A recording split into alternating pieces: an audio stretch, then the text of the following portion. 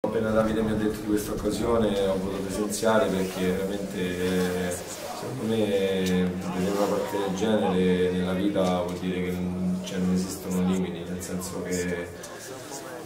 quando vedo questo tipo di situazioni dove oltre le difficoltà si va avanti è veramente una fonte di ispirazione grandissima. No, io anche sono d'accordo, anche perché fanno un certo effetto, io poi ho in famiglia anche due ragazzi disabili, quindi eh, vedere determinate cose mi rende veramente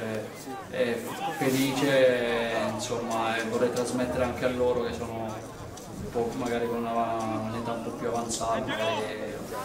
farli fare qualche sport insomma e, e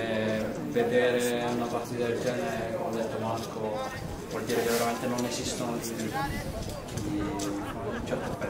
i limiti non esistono, il calcio in pratica unisce tutti, qui il pubblico presente tra i giocatori che comunque non giocano ma sono stati invitati perché fanno parte di altre associazioni e i parenti, amici, insomma sono tutti coinvolti, tutti prendono le parti, tutti si stanno divertendo. Lei che cosa invece si augura? Ma io mi auguro che, l'esempio che danno anche i nostri calciatori presenziare a queste iniziative eh, straordinarie eh, sia da, da, stimolo anche per, altri, per altre realtà sportive della provincia di Messina.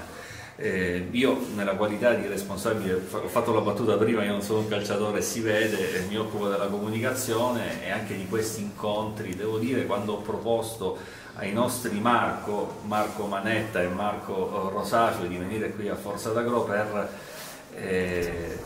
vedere una partita di non vedenti sembra una contraddizione in termini ma è proprio così vedere una partita di non vedenti per loro è stata una cosa come dire la risposta è stata subito sì certo ci siamo anche perché abbiamo curiosità pure di vedere come eh, si gioca a calcio. Ci stracciano. Eh, ci stanno stracciando in campo